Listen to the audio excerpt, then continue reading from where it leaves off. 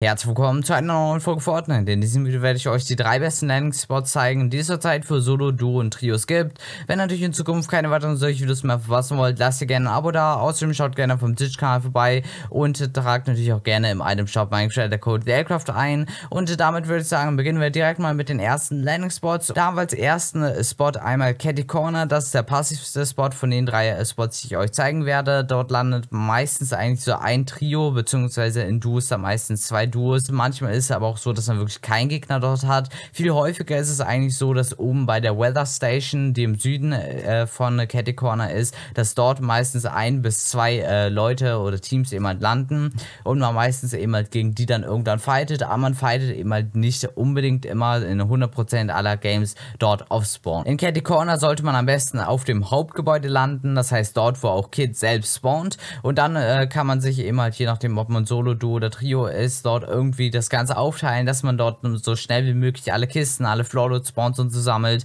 Man hat ordentlich von diesen Gemüseboxen, wodurch man eben halt relativ easy sowas wie Pilze finden kann, wodurch man relativ schnell Shield farmt. Und dann gibt es, wie gesagt, dort noch Ke äh, Kit, die steht eigentlich immer dort offen auf dem Gelände rum, dort wo eben halt, wie gesagt, dieses Main Building drauf ist. Und die spawnt auch nie irgendwo anders. Und äh, dadurch kann man dann dort entweder einmal natürlich die Waffen ganz normal upgraden, man kann die äh, challengen, das heißt, man bekommt dort eine epische AK raus. Und zusätzlich hat man noch zwei verschiedene Challenges. Einmal kann man nämlich die Challenge nehmen, äh, dass man Metall farmen kann und dann noch, dass man ähm, irgendwie Küchensachen äh, so abbauen muss und so Waschmaschinen und alles abbauen muss. Die ist etwas schwieriger. Nehmt eigentlich dort am besten immer die Challenge, wo Metall farmen müsst. Das geht eigentlich immer relativ easy. Da müsst ihr nicht viel davon sammeln und habt dann relativ schnell die ein paar Gold davon auch zusammen. Wenn ihr dann auch die Challenge macht, habt ihr eigentlich mit dem Gold plus dem 50 Gold, die ihr, äh, mit denen ihr in der Runde startet, habt ihr eigentlich schon die Chance, tatsächlich von einer blauen auf eine epische Waffe abzugraden. Und von dort aus kann man eigentlich auch relativ easy äh, weiter rotieren. Das Einzige, wo man aufpassen muss, ist natürlich, dass neben Lazy Lake unten am Fluss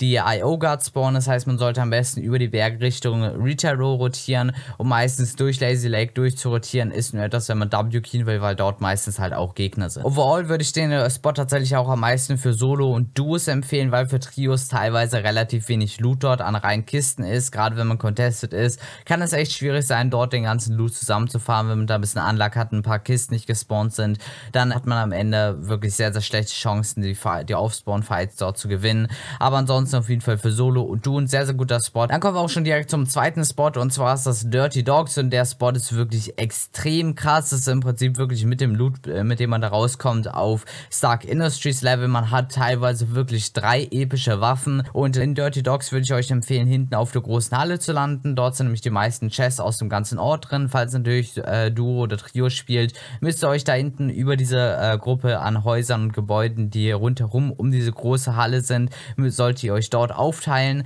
und äh, dort dann immer so viele Kisten abdecken wie nur möglich. In dieser großen Halle befindet sich auch Reese und bei ihr kann man ebenfalls natürlich die Waffen upgraden und sie hat zusätzlich noch Challenges und zwar immer eine Bounty Challenge und dann hat man äh, entweder eine Ammo Box durchsuchen äh, Challenge oder man kann alternativ auch noch eine äh, Challenge haben, wo man upgraden muss. Das heißt, wenn man upgradet, bekommt man eben halt 60 Gold dafür, dass man geupgradet hat, wodurch man eben halt sozusagen free ein Upgrade von grün auf blau machen kann. In beiden Fällen sehr, sehr praktisch. Auch Ammo-Boxes befinden sich direkt daneben, kann man auch easy mitnehmen. Und selbst ohne die Bounty Quest kann man auch hier wieder äh, auf eine epische Waffe upgraden. Und zwar, wenn man eben halt, wie gesagt, entweder die Ammo-Box Quest gemacht hat oder eben halt die äh, Quest gemacht hat, wo man die Waffe upgraden muss. Dann kann man noch in eine etwas kleinere Halle gehen. Dort sind nämlich ganz, ganz viele Waschmaschinen drin und wenn man die abbaut, bekommt man jeweils eben halt immer Gold raus und ich glaube, davon stehen irgendwie so 10 Stück drin, wodurch man eben halt auch 50 Gold oder noch mehr bekommen kann. Und da die eben halt auch zu 100% immer da sind, zu 100% immer Gold geben, hat man im Prinzip wirklich zu 100% dieses Gold daraus.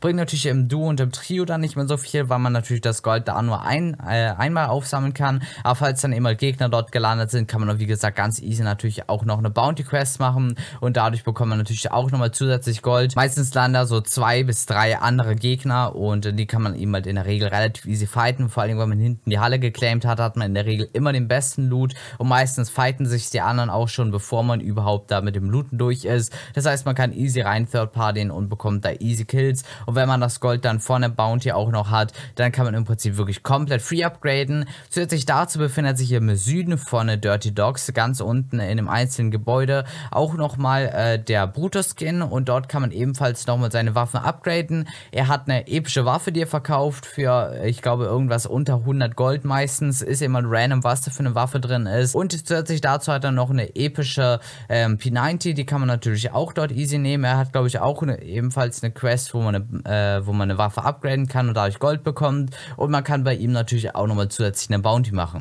und das Gute an Dirty Dogs ist, dort sind keine anderen großen Städte in der Nähe. Das heißt, man kann äh, im Prinzip komplett easy, wenn man vor allen Dingen im Süden der Stadt ist, dort über den Berg einmal rüber rotieren äh, zum See. Dort ist eigentlich meistens niemand, muss nur aufpassen, man nicht auf die IO-Guards dort beim See trifft. Aber ansonsten ist es eine absolute Free Rotation. Was man eher vermeiden sollte, ist Richtung Norden zu gehen, Richtung Steamy Stacks. Dort trifft man meistens auch auf Third-Party-Fights. Also diese Region sollte man eher vermeiden. Aber wenn wirklich da äh, straight über den See rotiert, dann hat man höchstens einen Gegner, der dort ist und den kann man easy fighten, weil ein kein anderer stört und dadurch komplette Free Rotation. Aber es landen immer, wie gesagt, ein paar mehr Leute direkt Early Game dort. Ansonsten hat Dirty Dogs aber auch schon generell sehr, sehr viele Kisten. Ich glaube, es ist sogar die Stadt, die die meisten Kisten zurzeit auf der ganzen Karte hat. Das heißt, man hat alleine ohne, de, äh, ohne das Gold, was man dort bekommen kann, schon den besten Loot. Und selbst wenn man äh, hinten auf der Halle contested werden sollte, hat man noch genug Ausweichmöglichkeiten. Man kann sogar hinten angeln. Das heißt, in ganz stackten Games kann man äh, auch nochmal runter zum Wasser gehen, dort ein bisschen angeln. Lohnt sich aber in vielen Runden nicht, weil man immer lieber die Zeit nutzen kann, um ein bisschen Gold zu farmen, um Mets dort direkt drin zu farmen. Und deshalb hat man in der Regel nicht so viel Zeit zum Fischen. Aber gerade wenn die Zone bei einem ist, kann man eben halt auch nochmal zusätzlich fischen gehen. Der dritte und letzte gute Spot ist dann Misty Meadows, ebenfalls relativ gleich contested wie Dirty Dogs. Ich würde sogar sagen, in Teilen etwas mehr contested und etwas mehr 50-50 vor allen Dingen, da man eben halt äh, nicht so viele Kisten dort hat. Also es sind insgesamt etwas weniger Kisten da, bei wie gesagt relativ ähnlicher Spielerzahl und man hatte eben halt in den einzelnen Häusern nicht ganz so viele Kisten und nicht ganz so viel Loot wie eben halt in Dirty Dogs.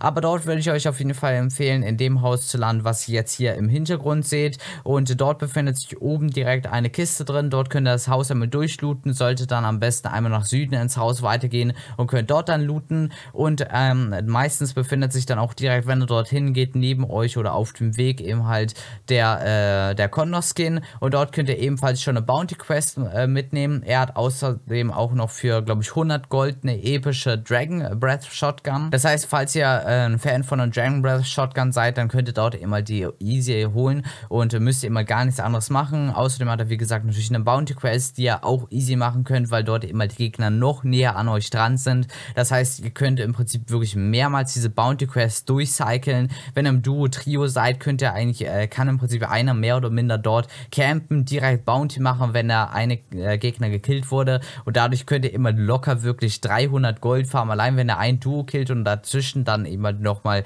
darauf achtet, dass er eine neue Bounty nimmt, habt ihr immer auch instant einfach 350 Gold insgesamt schon in der Runde gefarmt. Und das geht wirklich super schnell, dass, dass man dort richtig viel Gold hat. Man kann natürlich ebenfalls bei ihm upgraden und dadurch hat man auf jeden Fall relativ easy das Gold zusammen.